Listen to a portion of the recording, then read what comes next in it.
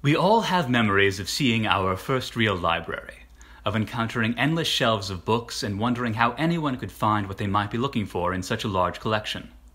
How would you know if the library has anything in your area of interest anyway? Well, every book has a code. It might be a Library of Congress code, based on a classification system created in 1897. It might be a code from the Dewey Decimal System, created even earlier in the 19th century.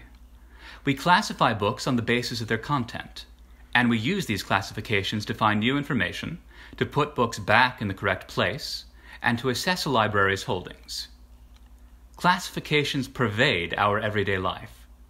Just like the Library of Congress, Amazon classifies its books to help us find publications we might be interested in, and, more important to Amazon, to bring our attention to books it thinks we might be persuaded to buy. All e commerce sites categorize whatever it is they want us to buy.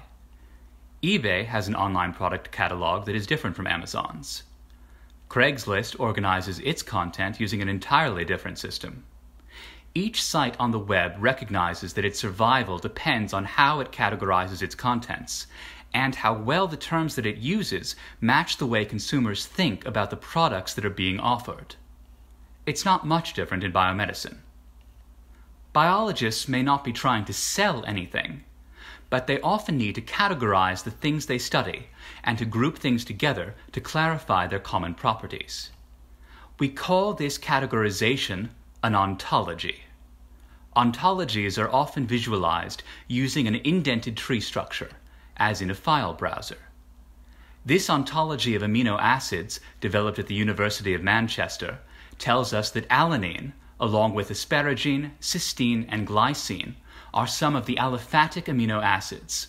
A biologist can examine this ontology to know what amino acids exist, what their properties are, and how one might classify them. An ontology may exist only as a conceptual scheme in our heads.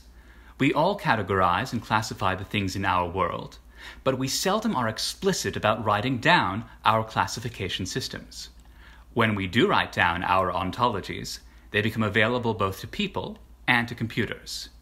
If we want to know what kind of amino acid alanine is, or if we want to write a book about alanine, or if we want to state that we performed an experiment to measure the concentration of alanine, then ontology can give us a set of standardized terms and relationships that can facilitate all of these things. Our ontology can tell us that aromatic amino acids are not aliphatic, and that amino acids have other properties, such as a standard genetic code. Biomedicine is simply replete with ontologies. Nearly 300 years ago, Carl Linnaeus proposed his binomial nomenclature for speciation. Linnaeus's hierarchical structure of categories of life forms, with each class of organism having a unique genus and species, was a seminal accomplishment. It's still with us today, and perhaps the best known scientific classification. In the 19th century, the precursor to what is now the International Classification of Diseases, or ICD, appeared on the scene. The ICD provides an ontology of diseases that the World Health Organization uses for international public health activities and that the United States uses for all medical billing. By the turn of the 21st century, a huge international effort was underway to develop an ontology to represent the properties of gene products, the biological processes to which they contribute, the specific molecular function that they perform, and the cellular component with which they are associated.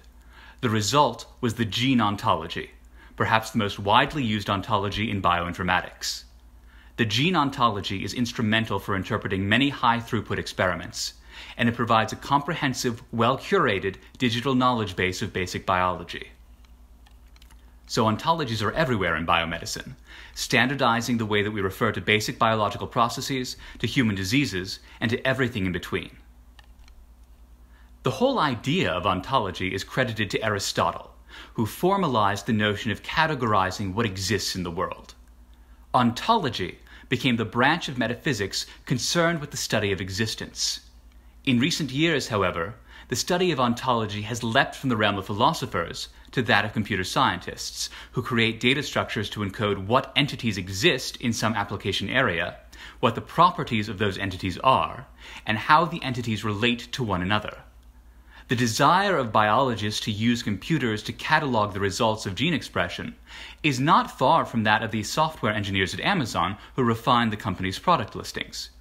We are all engaged in work to enumerate what exists in our respective domains, to clarify and communicate properties and relations. We do this to create a description of what exists in some particular application area for the benefit of people who seek clarity regarding the structure of some human experience, for software agents that may need to process information about some application areas, and perhaps most important, for the interaction between people and computers, so that people can be explicit about what they mean, and so that computers can act on human input in the most precise manner possible. We create ontologies as standards so that we can have agreed upon terms for describing the things that matter to us. There is no need to redefine speciation, for example, when Linnaeus already solved that problem. Having such standards allows interoperation. I can compare my data to your data if we call things by the same name. Computers can also reason about things reliably and efficiently when we use standardized terms and IDs to name things in the world.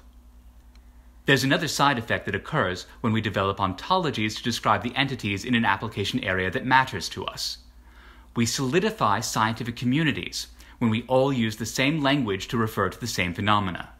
Science advances when we can agree on what exactly we are studying and what we should call things. The HuBMAP project is a large undertaking supported by the United States National Institutes of Health that relies heavily on biomedical ontologies. The goal of HuBMAP is to create an atlas that can describe every type of cell in the human body and to describe the characteristics of cell types in terms of genomic, proteomic, and other biomarkers. HuBMAP needs to be precise in how its atlas talks about the anatomical location of cells. It needs to be precise in how its atlas talks about cell types and biomarkers. There is no other way to obtain the necessary precision than to use standardized ontologies. When scientists who are working on HuBMAP think about collecting data about an organ such as the kidney, they recognize that the anatomy of the kidney includes a set of substructures called calyces that are all wrapped in an outside layer called the renal cortex. Each of the calyces has constituent parts that are understood all the way down to the cellular level. The HuBMAP investigators are capturing information about the kidney and about many other organs in the body in a format that lays out the anatomical substructures, the constituent cell types, and for each cell type, the known biomarkers that identify cells of that type in the particular anatomical location. These tables for anatomic structures, cell types, and biomarkers are known as the ASCT plus B tables, and they depend heavily on ontologies. The anatomical structures need to be represented explicitly, as do the cell types and the biomarkers. The use of standard ontology terms for all the components of the ASCT plus B tables enables scientists to describe anatomical structures, cell types, and biomarkers with precision. People can search the tables using the ontology terms. The use of ontology terms allows them to be confident that they can access all of the relevant data and that they can evaluate all of the information that has been stored. The ASCT plus B tables represent anatomical structures using terms from an ontology for vertebrate anatomy known as the Uber Anatomy Ontology, or Uberon. How do you get to see what terms the Uberon ontology provides? There are several repositories that store information about biomedical ontologies. The most comprehensive is a system known as BioPortal, which has been supported by the NIH to provide access to all publicly available biomedical ontologies in the world currently several hundred. We can use BioPortal to search for the Uberon ontology and see that Uberon consists of more than 20,000 classes or terms, and that users view Uberon at the BioPortal site nearly 1,000 times every month. BioPortal can show us all the terms in Uberon in a tree browser. If we want to focus on what Uberon has to say about the kidney, we can search for that term, and BioPortal will bring us there. We can see that Uberon has a term for the kidney, and subclasses indicating the left kidney and the right kidney, as well as terms for the progenitors of the adult mammalian kidney that are seen at different stages of embryogenesis.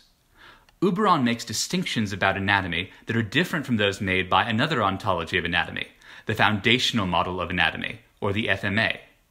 We can visit the FMA in BioPortal and see that it includes more than 104,000 terms. The FMA is also frequently viewed by BioPortal users. The FMA includes terms for the kidney, as well as the left kidney and the right kidney.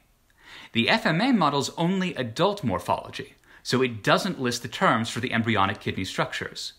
In fact, when we compare the FMA with Uberon, we see some interesting differences. Uberon lists the embryonic structures, whereas the FMA does not. Uberon models the kidney as a kind of cavitated compound organ, whereas the FMA models the kidney as a kind of parenchymatous organ, which is a kind of solid organ. Which ontology is correct? Well, that depends on the assumptions that the ontology's developers have made, and whether those assumptions apply to a user's situation. We can't always tell by inspection what those assumptions may have been, and thus why ontologies can make different or even contradictory statements about the same entity. One ontology might model light as a wave, and another might model light as a particle. Every ontology developer has to make assumptions about the context in which an ontology will be used, and those assumptions often govern what an ontology will say about the world being modeled.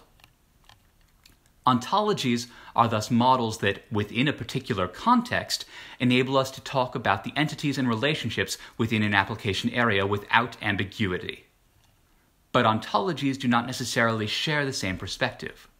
One ontology may talk about the adrenal gland, and another may talk about the suprarenal gland, but they are really talking about the same thing. However, sometimes the kidney is represented as cavitated and sometimes as solid, and we have to accept that the context in which an ontology will be applied can affect how we characterize the entities that may be modeled. The major contribution offered by ontologies is that they standardize the way we talk about the world. The gene ontology provides standard terms for describing gene products and their behavior. Uberon and the FMA both standardize terms in anatomy, but they do so in slightly different ways.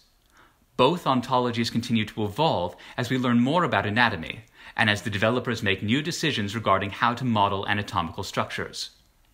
Biomedicine has hundreds of ontologies that describe different areas of interest. The availability of so many ontology resources offers a great benefit to biologists and clinicians, although the total number of ontologies can sometimes be overwhelming. Fortunately, resources such as BioPortal can help users to identify the ontologies that are most suitable for a particular task and applications such as HuBMAP's ASCT plus B tables can draw on these ontologies to standardize their terms, to ease access to complex information, and to help us all to speak the same language when we interact with these computer systems.